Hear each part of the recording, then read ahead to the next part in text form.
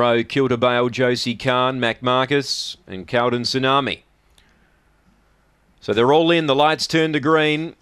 So the tote favourites now, Bally Celtic. They're ready. Set.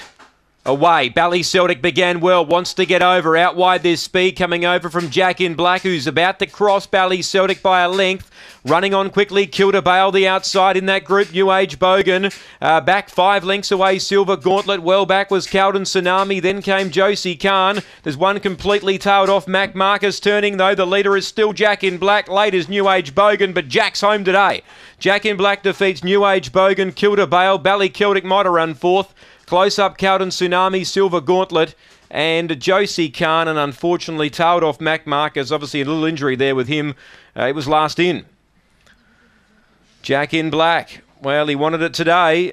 More often than not, he runs a place, but today for Des Hockley, he wanted to get over and find the lead, and he made everything his own way in the lead. Raced away, 22.94 the time.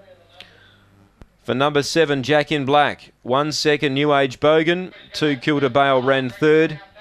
And three, fourth, Bally Celtic, who found the lead early but was pressured by Jack in Black and eventually was headed off. 7, 1, 2 and 3, 22.94 the time. 22.94 the gallop.